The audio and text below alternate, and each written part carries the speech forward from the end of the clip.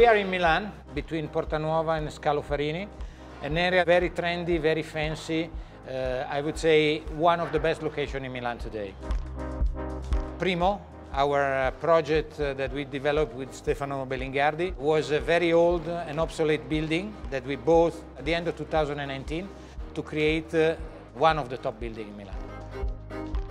We made a, concourse, as we normally do, a tender between different companies, and uh, we called this young guy, Stefano, that at the beginning was an unknown architect, and we decided to give him an opportunity. We were right. The project that came out uh, of his thoughts was an amazing project that overbeat all the other proposals made by architectural firm.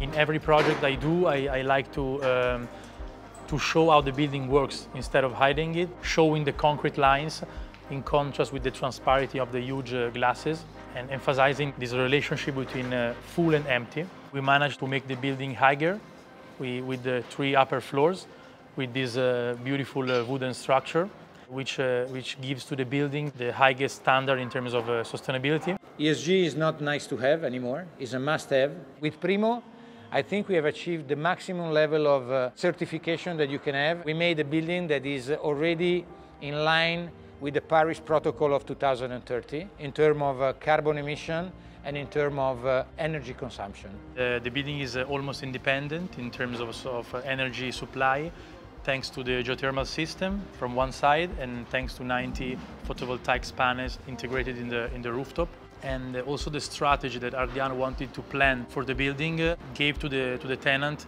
like the best experience in terms of technology.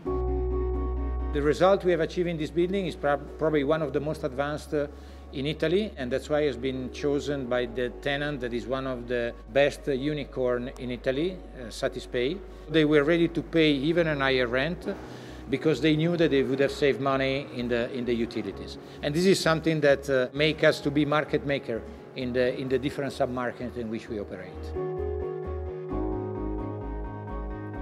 Ardian opened me the way to start doing this, uh, this work at very high level.